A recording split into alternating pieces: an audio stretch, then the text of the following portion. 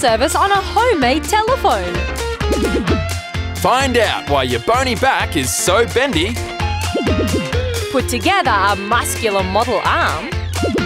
And the stinky truth about baked beans and farting. Only one way to find out if baked beans really make you fart, and that means eating a whole can. I don't think I want to be around to find out what happens. Maybe I can listen in on Carrie Ann's homemade telephone. Today is the big checkers tournament between Larissa, Jordan, and me. But Jordan's missing. Let's go see where he is. Oh no! He's sick in bed. Oh well. Larissa and I will just have to play on without him. Alright, back to the checkers. Hey, was that Jordan calling out? It sounded like him. We better go and check. Jordan needs some more juice. So it was him calling out. Hmm, how can we make it easier to hear him? I've got it. Let's make a telephone so Jordan can call us. Oops, almost forgot his juice. Sorry, Jordan.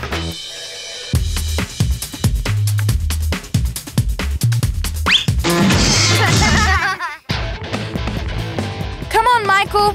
Get that body moving. Phew. You're not looking too flexible, Mikey boy. Let's do some stretches. Stretch that back out. Our backs sure are bendy.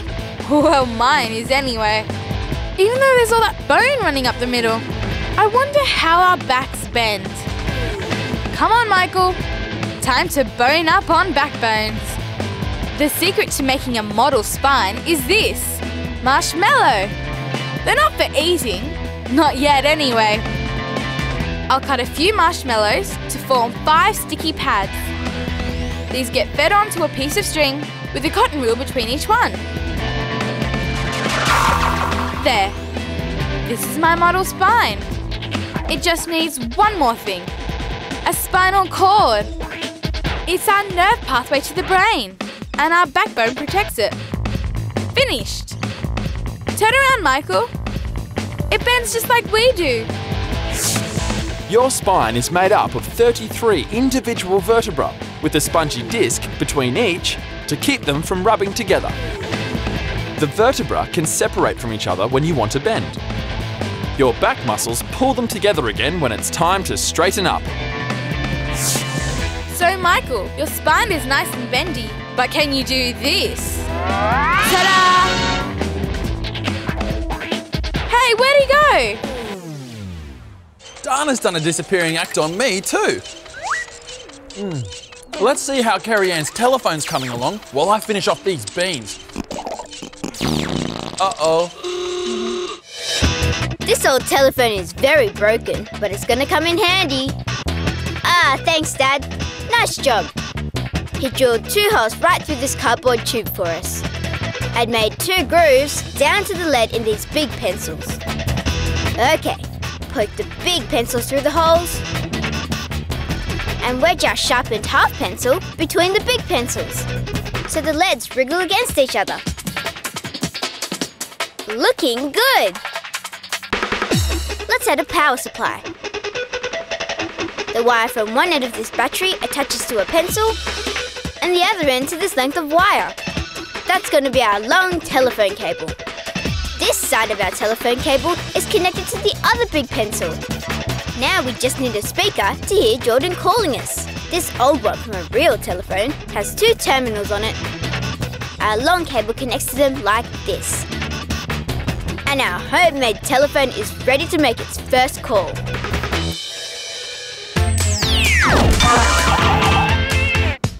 Mmm. Yum! Beans on toast are the best lunch ever. Oh, gross! That's disgusting! Phew! Some boys have no manners. I wonder why beans make people fart. Let's see if we can find out. Damon and I are on a fart fact finding mission. We're gonna get to the, uh, bottom of farting. We're each making a fart machine to see if we can imitate Damon dropping one. He is cutting up a rubber glove. Meanwhile, I'm mixing up a batch of borax laundry powder in warm water. Now for some craft glue. That should do it. A bit of water in there. Mix that together. And my slime is coming along nicely. A bit of food colouring to make it mucky coloured. Red and blue. Now to add my borax mixture. This is the secret to my slime. Damon's busy attaching his rubber glove to a length of hose pipe. That should work. If there's one thing Damon's an expert in, it's farting. Hey, check this out! The craft glue has turned into thick glue. This is gonna make great fart material. I just squish some of my sloppy slime into a film canister. Hey, it works! Gross! I am disgustingly clever. Let's hear yours, Damon. What a ripper! That sounds like Damon after a whole can of beans.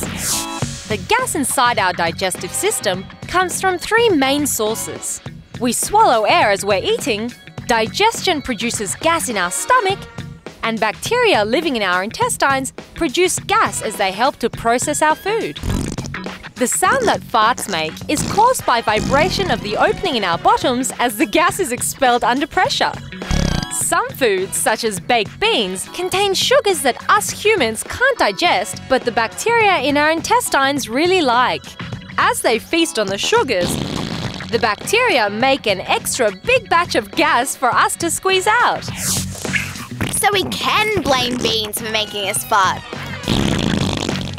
And Damon can blame his belly bacteria for that awful smell.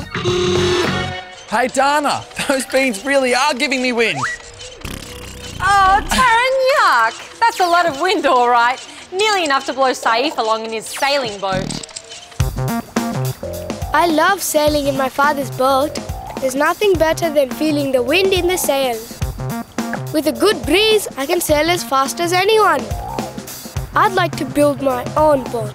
Then I could sail away and explore the oceans. If I'm going to build a boat one day, I'd better start practicing. I think I'll start with a raft of corks. I'll tie lots of corks to these wooden sticks. It's just like making a real raft, only smaller. Now for a sail. This sheet of card will catch the wind. That can poke into the middle of the raft. There, ready to hit the high seas. Let's see how she sails. There's some wind blowing down at the water's edge. Yay! Off you go, little boat. For centuries, people have been harnessing wind energy and putting it to use doing everything from pumping water to grinding flour. These days, we're even turning wind energy into electricity. Hoisting a sail is a great way of capturing wind energy and using it to move a heavy boat across the water. The greater the area of a sail, the more energy it captures and the faster the boat goes. My very first boat, and it's a beauty. Now I just need to build one big enough to carry me.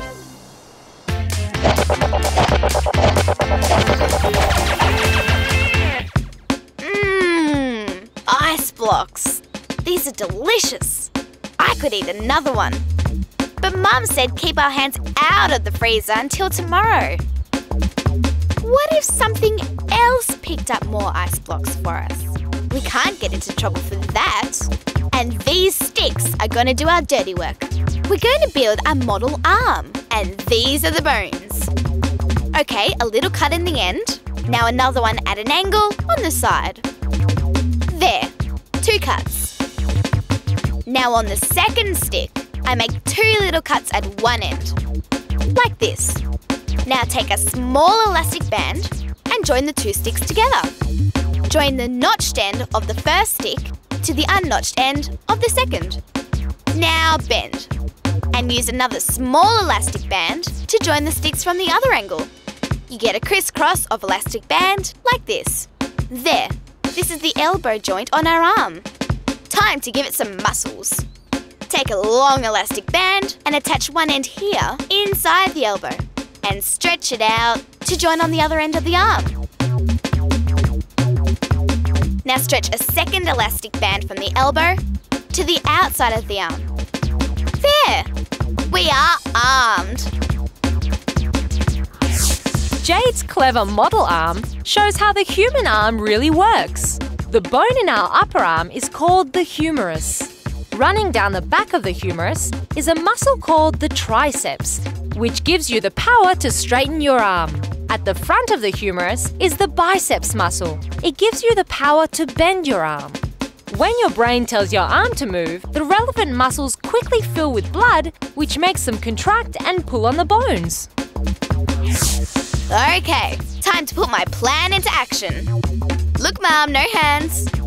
Well, not in the freezer anyway. I know that was a bit naughty, but I don't think we did any real arm. Those two sneaks got away with a second ice block thanks to their clever contraption. Jordan's about to use another clever contraption to get exactly what he wants too. Time to install our homemade telephone. Jordan's gonna love this. First, a quick lesson on how to work it. Okay, put the speaking end near Jordan's bed and we'll take the cable back outside with us. Now back to our game of checkers.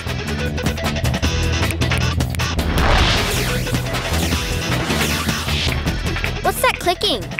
Oh, it must be Jordan calling. Yes? Hmm, yes? He wants orange juice. Our helpline is working. One glass of juice.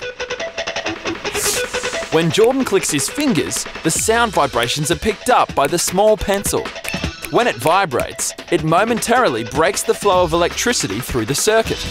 The speaker at the girl's end turns the interruptions back into sound vibration for the girls to hear. Finally, back to the checkers. Oh dear! He's calling again! What? A chocolate milkshake and donuts? I think it's time we disconnected this phone for good. What's that, Jordan? And now you want me to bring you a pizza? We can't make a pizza, Taryn. We're in the middle of a show. But Jordan says we've reached the end of the show. And hold the anchovies. See you next time.